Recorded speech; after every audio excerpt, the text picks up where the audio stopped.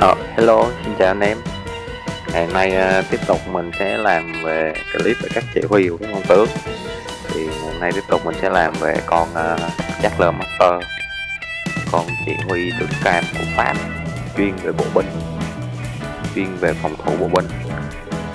À, Thì con này uh, nếu mà anh em mới chơi không biết thì ở đây mình sẽ nói luôn là nó sẽ là một cặp đi rất tốt với lại à, con à, Richard nha. Anh em xem à, những con tướng ở phía dưới sẽ thấy một con con tướng đó là Richard. À, nó là con à, con này. Nếu mà anh em có điều kiện chơi thì à, nó sẽ là một cặp rất là mạnh. Nó Richard đẹp nhất của anh. Thủ thủ nhà và đi đánh ngoài à, chiến trường cũng rất là mạnh đối với một cặp này. Nhưng mà nếu mà anh em không có điều kiện chơi mình có thể chơi một con. Một con đó là con à, chắc lơ Master này cũng có thể là một Richard. À, mà không có điều kiện thì chơi một con cố gắng là trong các uh, loại lính bộ kỵ cung thì mình sẽ cố gắng mình nuôi uh, được ba con một con bộ một con kỵ một con cung tướng cam bởi vì tướng cam này sau này anh em uh, chơi lâu rồi thì nó cũng công nghệ nó cũng ngang ngang nhau rồi thì ăn nhau về con tướng thôi. Tướng ai mạnh hơn thì người đó sẽ thắng. Đó đó cho nên mình anh em mình nạp ít thì mình mình mình cố gắng mình nuôi. Nuôi uh, được uh, ba con một con chuyên cậy một con chuyên bộ và một con chuyên cúng thì ở đây mình ờ, mình nuôi con ờ, uh, Charles Master này.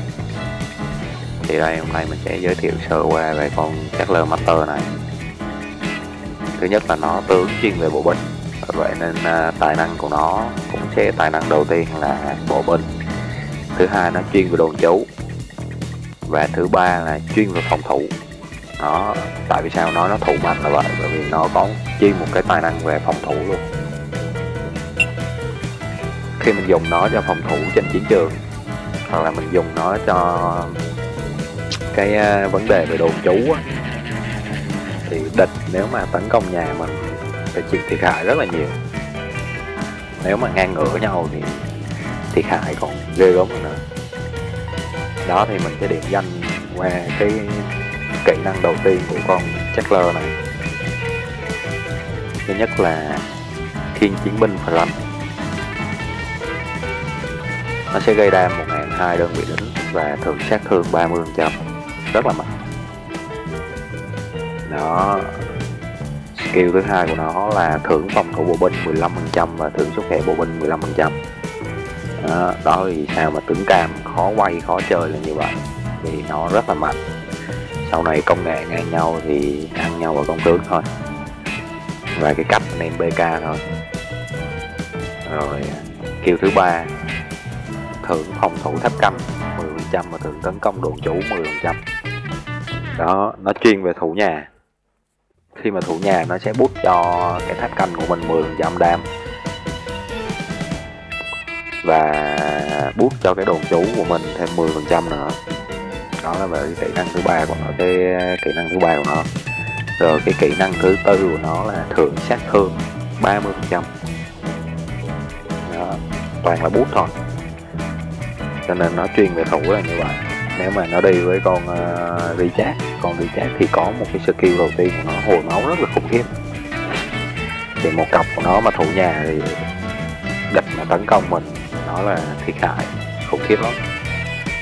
Đó thì đó là sơ lược về các uh, kỹ năng của con Charles này. Thì bây giờ mình sẽ vào phần chi tiết của phần tài năng của Charles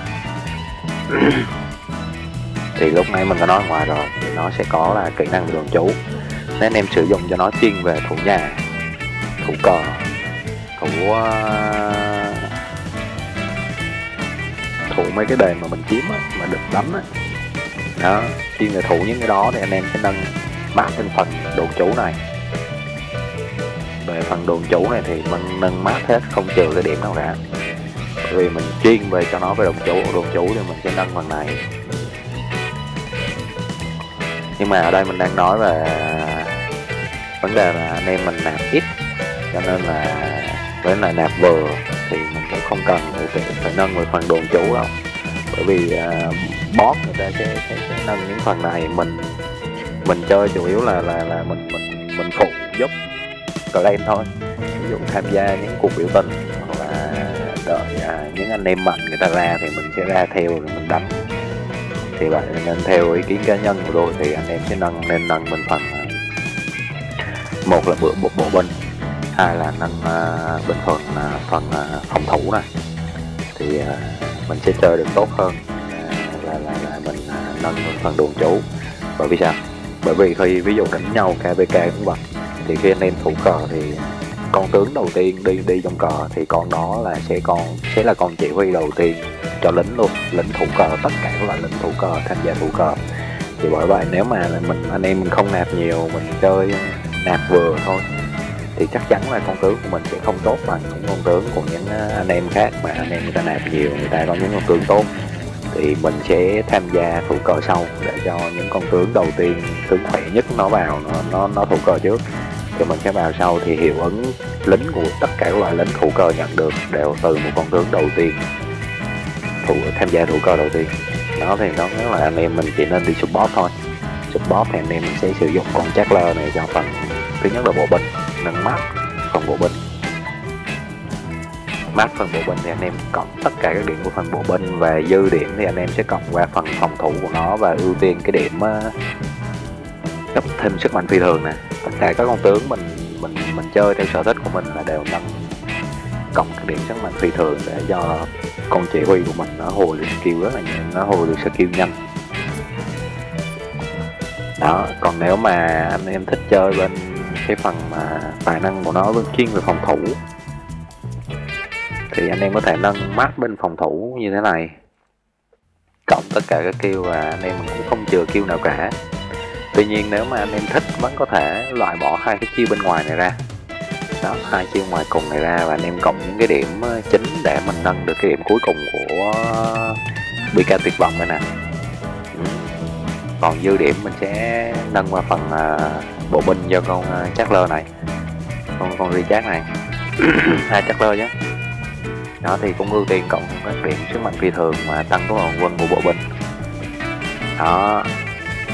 Đó là về cá nhân mình chơi là mình sẽ nâng theo cái phong cách như vậy ở đây mình nâng sai nè, sau này à, nó đủ skill và đủ level thì mình sẽ tẩy lại điểm và mình sẽ nâng lại bên phần à, phòng thủ. Mình mình sẽ chơi theo map phòng thủ. Bởi vì yếu mà, yếu thì à, mình sẽ đi hỗ trợ clan thôi, hỗ trợ clan với lại hỗ trợ anh em đánh thôi. Chứ mình không thể nào mà mình chơi đồn chú được.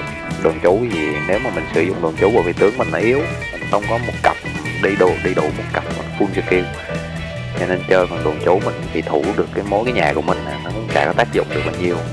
Nên mình sẽ sử dụng mình phần bộ binh và phần phòng thủ. Thì đó mình sẽ nâng map phòng thủ. Cá nhân mình sẽ nâng map phòng thủ và sau đó mình sẽ chuyển sang mình cộng một ít điểm bên phần bộ binh đó cộng những cái điểm bên bên nhánh bên này. Cộng hết nhánh bên này bên phần bộ binh đó đó là sơ lược về con uh, con uh, nâng tài năng cho con uh, chắc lơ này. Thì cuối clip mình sẽ làm thêm uh, một số các bạn nâng tài năng để cho anh em tham khảo tùy theo cái hướng mà anh em thích chơi bên nào thì anh em có thể tham khảo những cái bạn đó là anh em nâng. Làm sao mà hiệu quả để phát huy hiệu quả tốt nhất theo cái cách chơi của mình và theo cái cái tài năng mà cái con chỉ huy này nó có. Bởi vì một lần nâng được master skill một con tướng cam này nó rất là khó khăn đối với anh em mình nạp vừa lại nạp ít. Vì à, người ta nạp nhiều thì không nói làm gì cả. Chơi cỡ nào cũng được, nhưng mà anh em mình chơi theo cái phong cách ừ, chơi ké. Đó, cho nên là mình phải tận dụng tối đa. Làm sao mà hỗ trợ được clan tốt nhất. Có lính để tham gia rally biểu tình, thủ nhà, thủ cờ và tất cả các yếu tố khác mình hỗ trợ cho clan được tốt nhất. Nó là cũng được rồi chứ không nhất thiết là phải mạnh đâu. Mình làm sao mà mạnh bằng mấy anh em mà người ta nạp nhiều được? Người ta nạp nhiều người ta đánh trận nhiều người ta có kinh nghiệm nhiều thì chắc chắn cái kinh nghiệm về thủ cờ các kiểu người ta sẽ hơn mình rất là nhiều. Nên, nên mình cứ ờ, người ta bảo sao mình làm thế thôi. Người ta bảo mình đưa lính thủ cờ thì mình sẽ đưa lính vào thủ cờ đó. Đó rồi à, anh em coi những cái bạn tài năng cho con à, chắc lơ này ở phía cuối của clip nha. Mình sẽ gửi cho anh em xem tham khảo. Rồi, chào anh em nhé.